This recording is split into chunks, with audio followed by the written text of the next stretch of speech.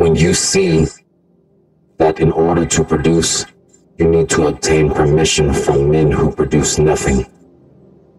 When you see that money is flowing to those who deal not in goods, but in favors.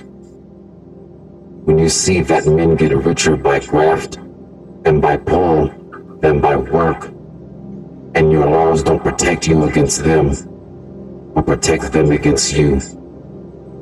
When you see corruption being rewarded and honesty becoming a self sacrifice, you may know that your society is doomed.